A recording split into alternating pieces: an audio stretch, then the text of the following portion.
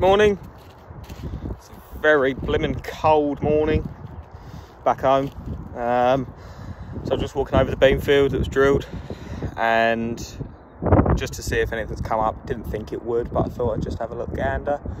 Um, it's been a week and two days since it was drilled.